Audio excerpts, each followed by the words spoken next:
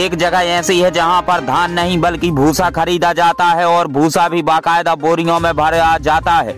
खबर मध्य प्रदेश के सागर ज़िले के देवरी विधानसभा क्षेत्र के केसली से जुड़ी है, जहाँ पर दिगंबर स्व सहायता समूह के द्वारा धान की खरीदी की जा रही थी, जिसमें बड़ी गड़ाबड़ी सामने आई है।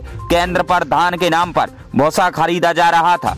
आप, आपको बता दें कि बोरियों का वज़न धान से भरी 40 किलोग्राम का होता है, जबकि यह बोरी 40 किलोग्राम की नहीं, बल्कि 15 से 20 किलोग्राम की निकली है, जबकि नियम के मुताबिक एक बोरी में 40 किलो का वज़न रहता है, जूट का बारदाना भी रहता है। आपको बता दें कि गड़ाबड़ी मिलने पर अधिकारियों ने धान की बोरियों को जब्त कर लिया है और कार्रवाई की जा रही है। जानकारी यह भी कहती है कि जैसे ही जाँच की टीम खरीदी केंद्र पर पहुँची तो वहाँ से कंप्यूटर ऑपरेटर और समिति प्रबंधक मौके से भाग निकले हैं जबकि यह जो समूह है, वो महिलाओं के नाम पर था।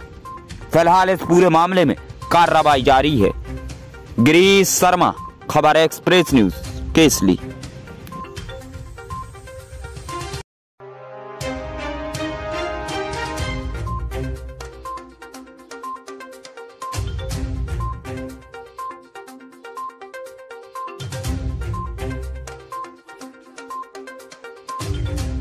जब हम लोगों ने देखा हमारे कनिष्ठापुर की अधिकारी श्रीमती पलक खरे जी और मैंने ओ टी आई साहब ने आगे यहाँ पर कल जाँच की तो देखा कि यहाँ पे बोरियों में धान की जगह पे भूसा भी भरा था। तो उसके संबंधित कार्रवाई की गई तो हमें लगता है कि अमानक कार्रवाई हो रही मतलब मिश्रित कार्रवाई हो रही है, धान में भूसा का मिश्रित कर रहे हैं। इसके अच्छा सर, ये लगभग कितनी धान है? ये धान धान तो लगभग हमारे पास तीस हज़ार बोरियों की अभी तक जाँच हम लोगों ने कर ली है। तीस हज़ार बोरियाँ यहाँ पाई गई हैं और उस पर जाँच चल रही है। अच्छा सर जो वेयर हाउस में जमा हो गया उस पर भी कार्रवाई होगी क्या? वेयर हाउस इसके बारे में संबंधित अधिकारी लोग आ रहे हैं वो बताएँगे आपको। मुझे मुझे नहीं इसके बारे में ज़्यादा जानकारी। थैंक यू सर जो ग्राउंड में रखा है उसके बारे में मैं आपको बता रहा हूँ। जी सर जी धन्यवाद। एम आई मोबाइल स्टोर एवं रिधिमा मोबाइल लेकर आया है सैमसंग एवं बजाज फाइनेंस सुविधा।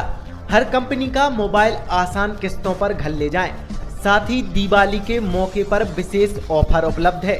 हमारा पता है M I mobile store Shyama Prasad Mukherjee complex, दुकान नंबर 16 रहली मध्य प्रदेश।